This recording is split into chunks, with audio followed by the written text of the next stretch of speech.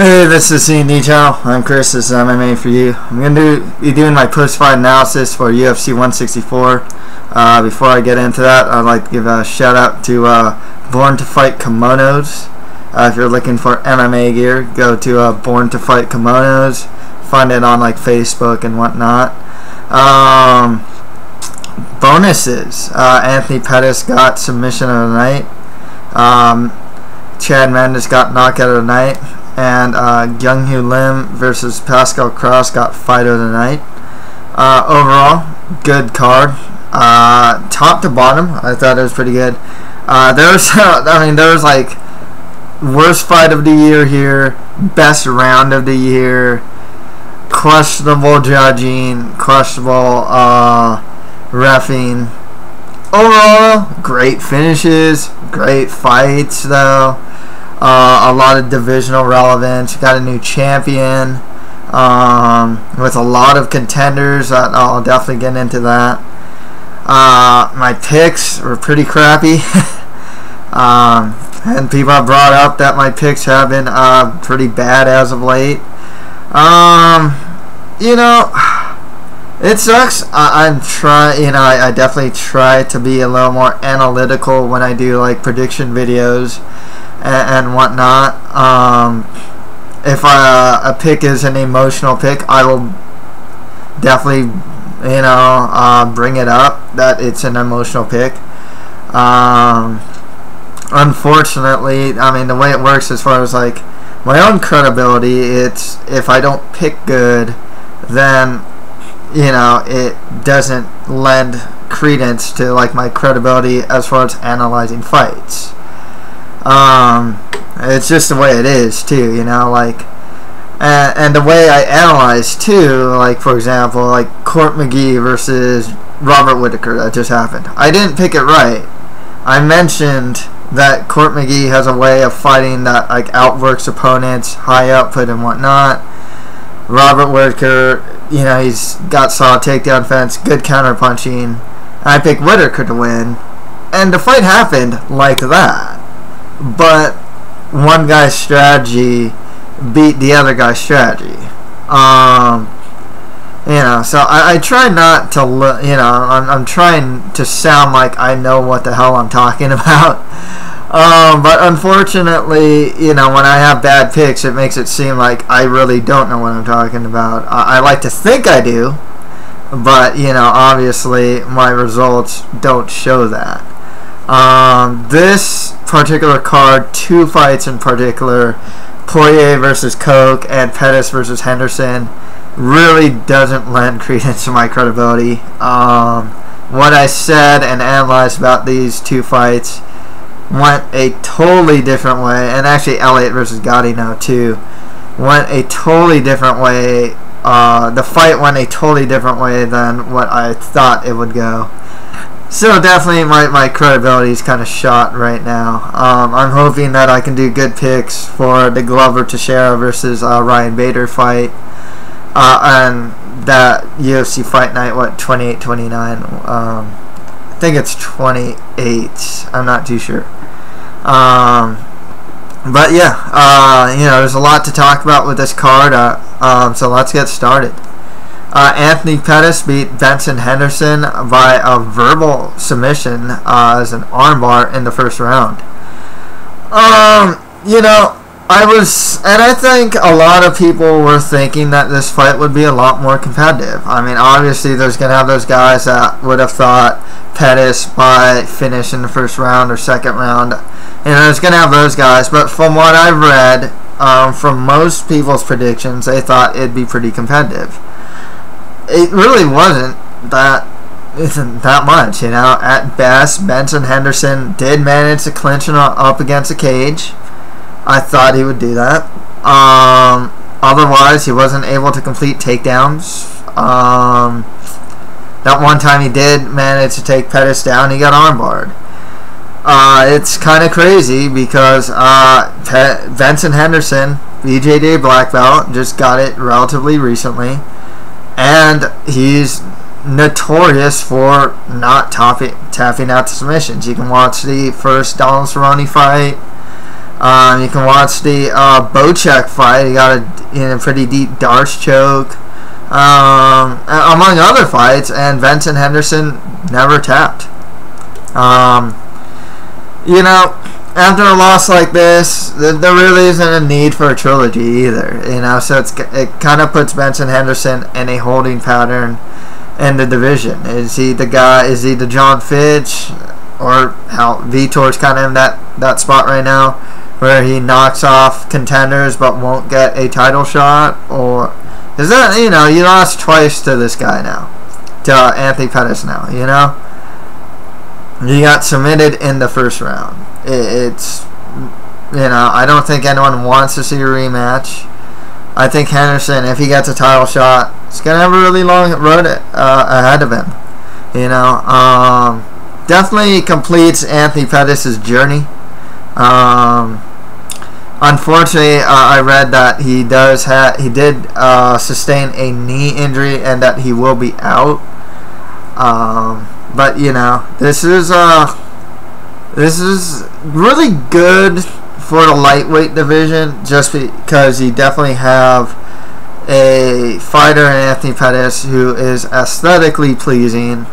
Um, you know, he has really fun fights. He's a fin- a known finisher, and uh, spectacular finishes as well. It's not just like you know, some ground and pound here and there. It's like head kicks, body kicks, you know, um, Pettis kicks, Showtime kicks, you know, arm bars from guard, you know, which is so hard to get at this level of, uh, you know, competition.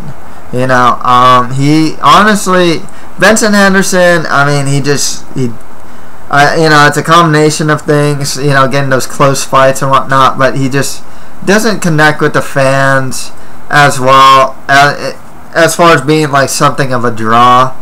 Uh, I think a lot of people were thinking like uh, it, it's a matter of time before he loses because he's not dominant, and I think that really hurt him too. Pettis, though, I mean, you know, his last three victories were pretty dominant. Lauzon, Cerrone, now Benson Henderson there are no shortage of contenders. TJ Grant would probably be the best um, next contender. And, and that'll be really interesting. I, I really like TJ Grant. Totally underrated fighter. Um, you know, style. I would favor Pettis against any one of these guys, by the way, that I'm going to uh, mention. Um, stylistically, it's a good fight because uh, Grant is a pressure fighter, and Benson was mentioning, yeah, make him back up a lot, you know? So, that's not to say that uh, it's going to guarantee a, a, win for the opponent. Uh, far from it, actually. Pettis' footwork, really good. He, he makes really subtle movements uh, to change angles uh, for his strikes and whatnot and he's really content off his back, and he's shown to have really good takedown defense. Just a really well-rounded guy, um, really young too. You know, doesn't sustain too much damage in his fights. Um, the only thing that sucks for him is he does tend to hit the injury bug a couple times. But I mean, you can give him TJ Grant next. Uh, Gilbert Melendez beats uh, Diego Sanchez. I mean, a lot of people thought Melendez beat Benson Henderson. Um, people feel very highly of Gilbert Melendez. That'd be a great fight, you know. I don't know who Josh Thomson is going to fight next after he uh, knocked out uh, Nate Diaz, but um, he'll probably get another fight. But Thomson versus Anthony Pettis would be pretty cool too. And uh, Rafael Dos Anjos coming off that big win over Donald Cerrone. Um, you know, he's firmly entrenched in the top 10 now. Uh, shown to be a greatly improved fighter. Uh, he'd be an interesting challenge as well. And of course, uh, Anthony Pettis called out none other than uh, Jose Aldo. Okay, can either fight at 145 or 155. Um, Aldo's manager wants, if that fight happens, it'll be at 145. As far as a kind of like a dream fight, it'd be cool. It'd be really cool to watch as far as you know, right now I mentioned four guys that, that honestly, let's see, um, you know, Grant, Melendez, Thomson, Dos Anjos. I mentioned four guys already that you know are one fight or or you know just should be the next contender. You know, um, there's already a logjam at 155. I mean, that, those are four very worthy challengers, all interesting fights for ben, uh, Anthony Pettis. And, you know, I'd like to see Pettis stay at 155, clear up the logjam. Um, and, you know, like I said, I'd favor him against all these guys. I think he's a little too tough to take down. He's, and he works off his back really well. His stand up, I think, is pretty much ahead of everyone else's stand up in the division. You know? Um, so yeah, he, he could could he be like the one, the BJ Penn, well, you know, when he was that the one, the one dominant champion, the GSP, um, Anderson for a longest time to Jon Jones. Could he be the dominant champion? Yeah, you know, I mean, he, he, he already made a statement here. First round submission over Benson Henderson. Um, you know, it kind of sucks though that, that there isn't going to have a rubber match, or most likely won't. Um, trilogies like this definitely lend itself to building a division. Um, you know, because there's a story of like Anthony Pettis beat Benson Henderson in his hometown to win the WC title. Now they're Benson Henderson's the UFC champion in Anthony Pettis' hometown. You know, if the story went like, oh, Benson Henderson won somehow, even controversially, you know, whatnot, people would probably want to see the trilogy, you know? Now, that doesn't happen. But but, but, but, Anthony Pettis, like I said, extremely markable guy, huge star power. I mean, the guy was in World of Jenks. Uh, he was in like some life of an MMA fighter uh, thing as well. You know, definitely has a lot of star power. Um, highly marketable, really fun fights. You know, um, seems like a good guy outside the cage. You know, I think he has his own Taekwondo school. You know, one or two, if I'm not mistaken you know, uh, family man. You know, I think he, he always mentions his kids. You know, um, part owner of the Roufusport, if I'm not mistaken. Now, you know, uh, good guy. You know, just really good for the division, and, and he himself, with his style and, and, whatnot, could potentially uh, elevate the division. You know, he, he might be just that dominant champion that the division really needs, but he definitely has some tough competition uh, ahead of him. If he does fight Aldo, that'd be a really cool fight. I'd love to see it at 145 or 155. You know, um, either weight class would be really cool. Um, but right now, I, I, personally would like to see Anthony Pettis staying at 155. Um, Benson Henderson needs a fight next. Uh, I'd probably give him like uh, may, probably uh, Gray Maynard would be a good uh, matchup because he's coming off loss to Pettis, but is still like uh, still up there. Uh, he can also get the loser of Melendez versus Diego Sanchez. Um, so yeah, there's still good fights for him, but you know he, he's definitely at a holding pattern at 155 at this time. Okay, next fight after that, Josh Barnett beat Frank Mir by TKO in the first round. Um, you know, th- there's a lot of controversy here because of whether or not it's an early stoppage. I thought the stoppage was fine, but it could have gone in a little more, maybe three or four more punches. I mean, it, but it's one of those differences of being like Frank Mir just fell like a sack of potatoes after the knee. He his arms were flailing around, and then he, you know, it's a flash knockout. You know, do you really want to risk this guy's health? Does he really need to be knocked out cold to def- to really say, hey, like, okay, Barnett won. Cool, let's give this guy, you know. I mean, Mir's been not most of his losses. I think almost all except like one of his losses have been by knockout, and then a lot of fights he gets wobbled. He gets like Nogueira in the second time he gets wobbled. Um, so you know, I thought it was a fight. You know, like at the same time, I thought the ref looked out for the safety of the fighter. So in the sense, I, I don't think it was the worst thing in the world, and I think it was pretty definitive that Barnett more than likely would have uh, knocked out Mir out cold. Uh, this is three losses in a row for Frank Mir now. I mean, he needs to get. They should probably just give him like a mid tier guy, like maybe the winner or loser of Schaub versus Mitrione or something like that. Just, you know, I think at this point, because he's only been fighting like the best guys. You know, Junior Santos, Daniel Cormier, Josh Barnett. It's they're they're all very respectful losses for Frank Mir. You know, um, but yeah, three losses in a row. You know, I don't think he's gonna get his uh, he's gonna get cut or anything because he's Frank Mir. You know, well known, main evented a lot of uh, UFC's former champ. You know, has a name has name value. Um, still a relatively good fighter. You know. Um, you know, he's the main event for UFC 100, you know. But, you know, he's also he's on TRT now. Um, he's getting older and his chin's not getting better. I mean, the guy keeps getting knocked out.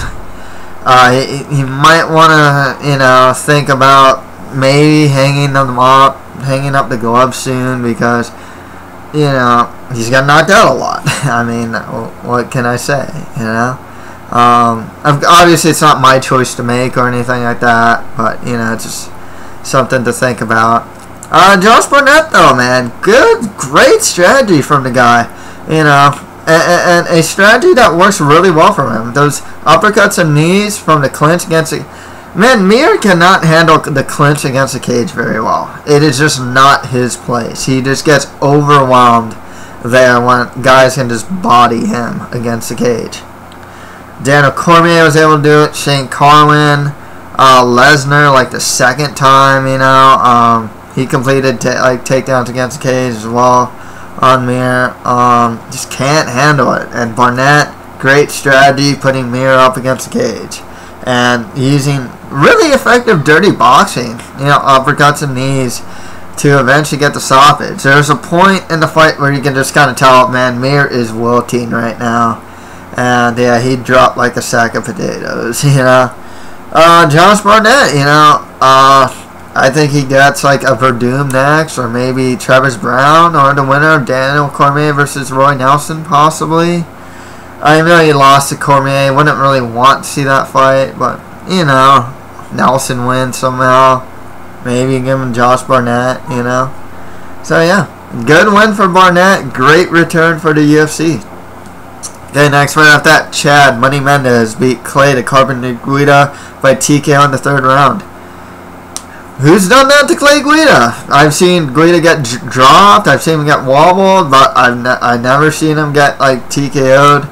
I think he could have probably maybe taken some more punches. I you know, some people were, were calling early stoppage here as well, but I thought it was fine. You know, um, man, you know, you, you can't discount Duane Ludwig and his coaching and Team Alpha Male.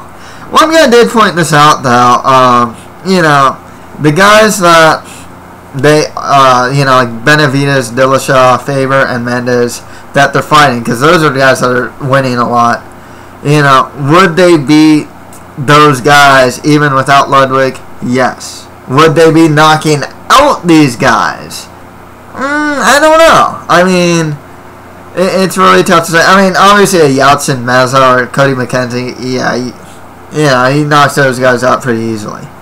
Uh, and Elkins and Aguida without Ludwig, I don't know, you know, because you even heard in the corner, I, I someone pointed this out too that I believe um I believe Ludwig was saying, okay, you know, hit, hit him with the counter right.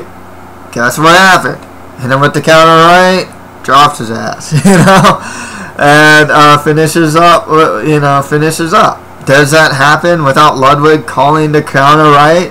Probably not, actually, if you really think about it, you know. And a lot of these fighters will credit, oh yeah, I was working on this particular combo with uh, Ludwig the other day. I think Dillashaw was mentioning something with the the kick that dropped uh, Jeez, I've got who it was. Um, I uh, Vaughan, I think it's like Vaughan Lee or something like that.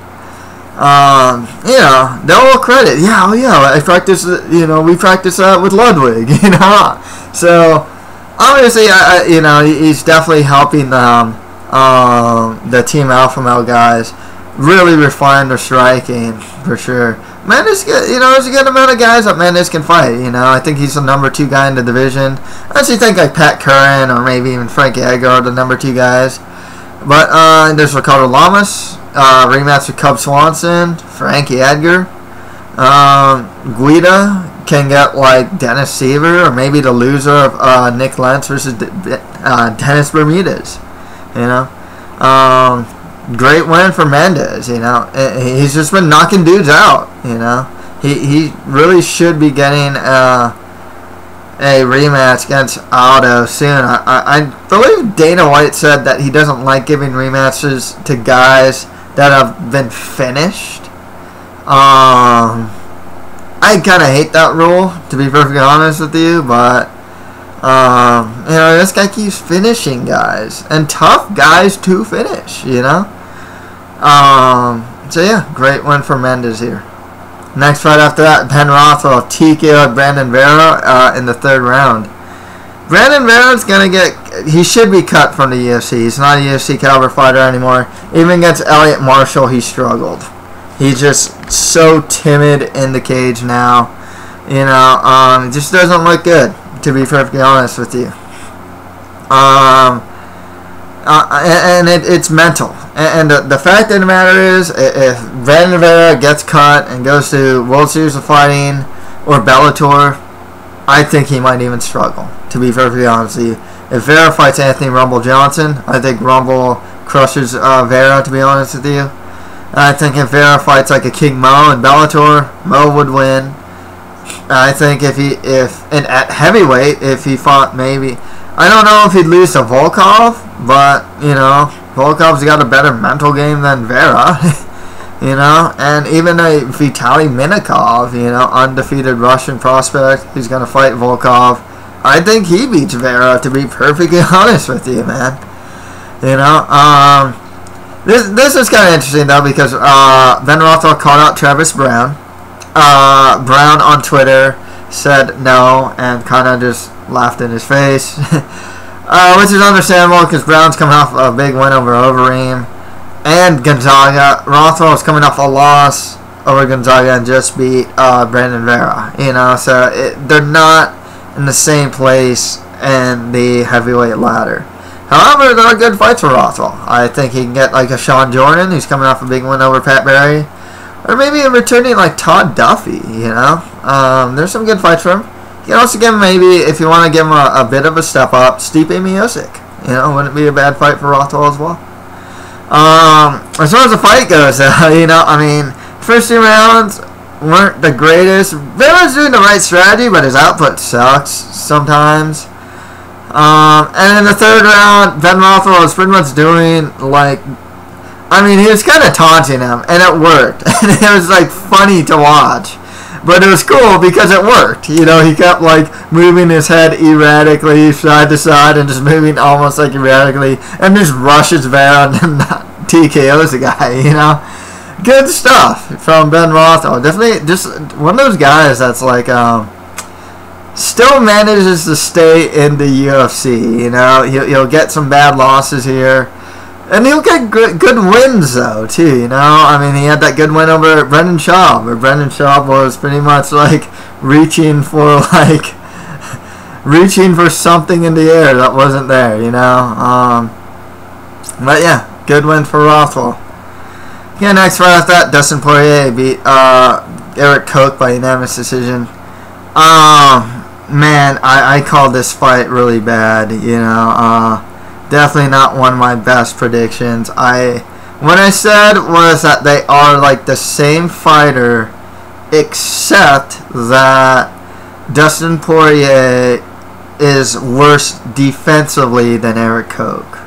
Then when the fight happened, Dustin Poirier was knocking Erik Koch down in the mat and hitting him almost at will a lot of times definitely one of my worst predictions uh, and my, one of my worst analysis. Um, they are very similar. You know, Aaron Koch showed a very good ground game against uh, Dustin Poirier with the close triangle chokes and whatnot. Poirier's stand up was far superior.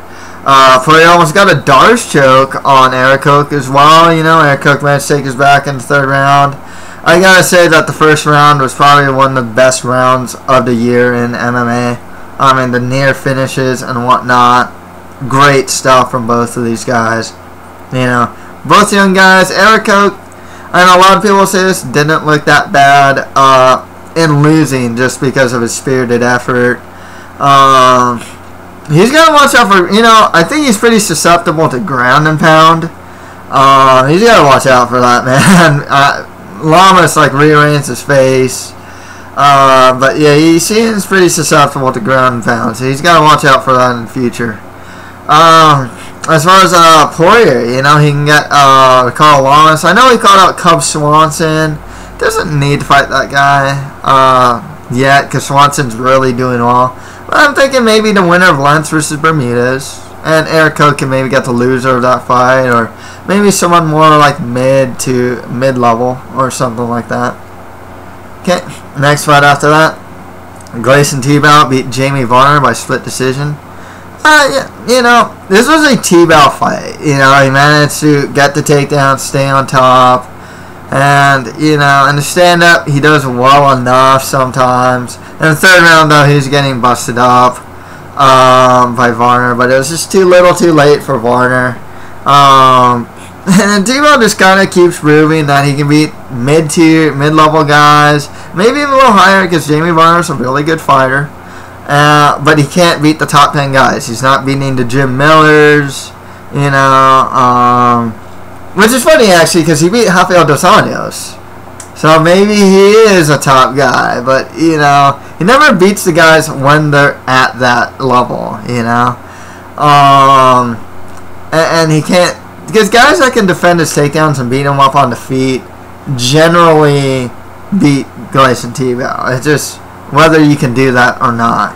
Um, you know, I'm thinking with Varner, the Varner versus Cerrone fight makes a lot of sense uh, these days. I think that that's a fight they should go with. Tibau, you know, uh, it's tough to say. Do you give him more mid-level guys for him to take down, or like do you give him another top guy? You know. But like a lot of the top guys, I mean, you're talking Melendez, Grant, Thomson, rematch with Anjos. Do you give him someone come off a loss like a Cerrone? Um, maybe a Maynard versus T-Bow. wouldn't be too bad, even though it's a guy coming off a loss over a guy coming off a win. You know, I guess you can do that. But uh, yeah, this is Tibau. You know, 25. You know, really quietly getting like the most fights in the UFC and he's like one of the few UFC lifers. You know, he'll win a couple, lose one, win a couple, lose one. You know, yeah, that's him in a nutshell. You know what I mean? Um, next fight after that, Tim Elliott beat Luis Gaudinot by unanimous decision. Great stuff from Elliott. This guy is not the most technically sound guy, but on on the feet, but he makes up for that with pressure, output, cardio. Um, his wrestling's really good. Uh, submission defense is really good. Ground pound's really good. He's always busy. I'm curious to see uh, with, with Elliott if you know because Dodson beat him, but that was actually a really close fight. Uh, I'm just kind of wondering with Elliott if his like unorthodox and this like almost reckless style of stand up and non technical stand up will eventually cost him against some guys. Um, I'd like to see it though. You know, I, am curious. Because uh, he's a really fun fighter to watch. He does some pretty crazy things. Um, I'd like to see him get the winner of Lineker versus Harris uh, next. Um, maybe go with Elliott versus uh, Ian Uncle Creepy McCall. That'd be pretty cool as well. Because McCall's coming off that win over, um, geez, I forgot the guy's name. That Brazilian dude. Um, I don't know if you want to give him someone too high up, like a Joseph Benavidez or anything like that. But uh, there are some fun fights from him at flyweight for sure, and he's a really interesting fighter because he's definitely technically flawed, but he definitely he also makes up for it as well. Um, with Gaudinot, you know, he just he had no answer for Elliott's offense. You know, he's a good fighter, solid fighter. He's always game, but you know, just couldn't handle the pressure. He should fight more like lower to mid tier guys in the division. And next fight out that Hyun-Gyu Lim beat Pascal Krauss by uh, TKO in the first round. Um, man, this guy second time in a row win with the knee, with knees. Man, he has some good knees. Big for the weight class. I will say this: guy has some really strong offense, but some weak defense. Definitely needs to get that addressed though because uh, against some of the better guys of the division, that that's not going to cut it. You know, you can't just stand in front of guys and take punches, and on trade punches. You know, uh, I think this is also showing that Korea is producing some top level MMA fighters. You know, Hyun-Gyu Lim, Dong Hyun Kim, Kyung Ho Kang. Um, you know, there's probably some other uh, prospects in Korea that we don't know about that, you know, that are probably pretty good. You know, uh, I like what I see from uh, Lim's defense, uh, uh offense. My bad, his offense. Uh, I just like to see him get more uh, lower to mid tier guys in the division. Krauss, same. Just more lower to mid tier guys in the division, I suppose. You know, um, but yeah, really funny about this fight card that you see a Roufusport guy versus a Korean guy. Um, I mean, and, and you know the Kang, the Kang versus Camus fight, Krauss versus Lim, and even to an extent Pettis versus Henderson because Henderson is half Korean. You know, uh-huh. so it's really interesting to see. Um, but yeah. I'm curious to see where Lim, Lim goes from here. You know, I think he, he's a pretty good prospect at 170. Um, like his offensive arsenal, super good knees. Um, curious to see where he goes from here. Next one after that, Chico Camus beat uh, Kyung Ho Kang by a unanimous decision. I'm going to say this. I don't think the fight was a robbery. I think there was definitely there's definitely a case for Chico Camus 29-28. I think 30-27 is pretty much unjustified for Chico Camus. First round, I mean King was on top of him like the whole round. He, did hit some ground and pound. It wasn't like he was just laying on him the whole time, trying to pass his guard and whatnot. I personally had the fight 29-28 for King. Um, you, you know, the second round could have gone either way. That could be a 10-10 because, you know, in the first half of that round, Kang was on top. Next half of the round, Camus was on top. And then in the next one, um, Camus was beating up Kang on the feet for a little while. Kang was on top for a long time. Camus managed to get the up kick, and that was like the deciding factor of that. Um, but yeah, I, I, personally had it for uh, 29-28 Kang.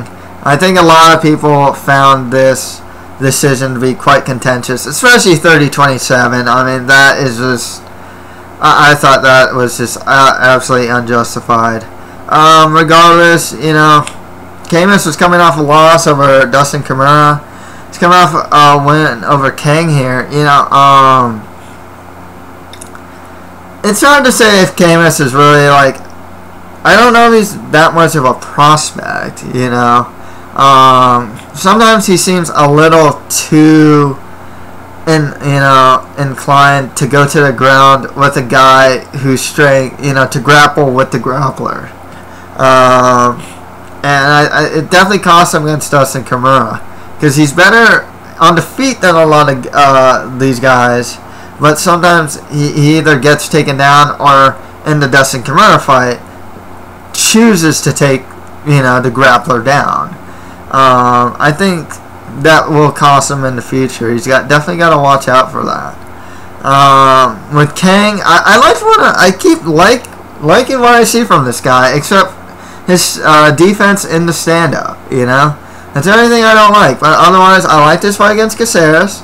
I think Kang's a hell of a grappler. You know, some of his reversals are just sick, man. I was just like, wow, I, I did not expect him to be able to.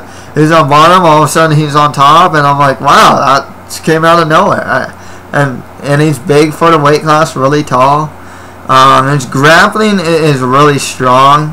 Um, you know, definitely needs some work there, even. Um, but you know, uh, or he needs some work in the stand-up defense. But I, like what I see from the guy.